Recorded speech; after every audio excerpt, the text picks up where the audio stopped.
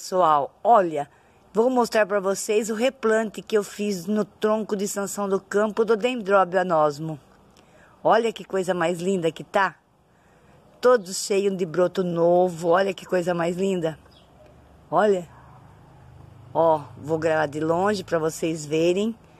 Coloquei ele no Sansão do Campo, por ele gostar muito do Sansão do Campo, plantei ele aqui replantei ele aqui, né? Porque ele estava numa placa de xaxim que não estava dando certo. Ele só não floria de jeito nenhum. E olha, olha que coisa mais linda que ficou. Muito lindo, né? Ó.